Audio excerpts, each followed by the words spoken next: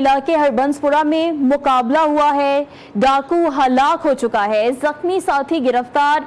Police के मुताबिक सूली गैंग का सरगना नसरुल्ला सिर्फ़ आपको बताते चलें कि सरदार सूली साथी के फायरिंग से मारा गया है। डाकू पुलिस को डकैती कत्ल जैसी संगीन वारदातों में मतलूब था।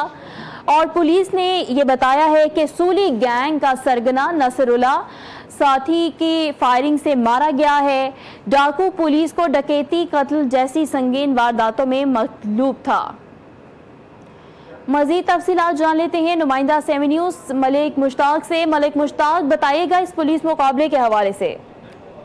जी, बिल्कुल, ये हरबंदपुरा में सूली गैंग के सरगना नसरुल्ला और सरदार सूली साथी डाकुओं की फायरिंग से हलाक हुआ है, चूँकि ये हरबंदपुर का इलाका था और वहाँ पर पुलिस के साथ डाकुओं का मुकाबला हुआ। चार डाकुओं ने शहरी से गन पॉइंट पर वारदात की और पंद्रह की काल बाद पुलिस ने डाकुओं का ताकुब किया। तो डाकुओं के साथ सामना होने पर डाकुओं ने फौरी तौर पर पुलिस पर फायरिंग कर दी, जबकि जो हलाक हुआ है, नसरुल्ला और सरदार सूली, ये अपने ही साथियों की फायरिंग से हलाक हुआ है। इसके अलावा आपको बताता चलूँ कि जो जख्मी हालत में डाकू पकड़ा गया है उस, उसने जो इंकशाफात किए हैं उसके मुताबिक सैफुल्ला डाकू का नाम है जिसे इंकशाफ किया है कि चंद ही रोज पहले उसने अपनी बहन को किसी के घर में मुलाजिम रखवा कर बड़ी डकैती की और इसके अलावा उसने कई कत्ल की वारदातें भी बताई हैं और इन इंकशाफात के हवाले से जगह जगह पर जो है तस्दीक की जा रही है और पुलिस का कहना है कि अभी तक भी जो जख्मी डाकू है उससे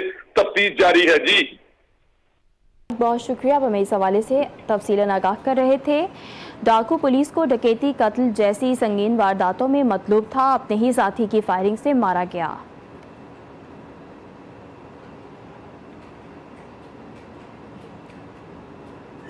और अभी आपको